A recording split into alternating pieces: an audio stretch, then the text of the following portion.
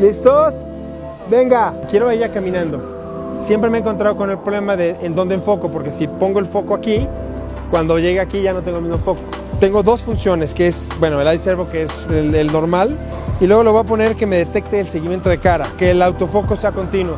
Entonces ya no tengo que hacer nada más que enseñarle cuál es su cara y de ahí solita la voy a ir siguiendo. Una, dos, tres.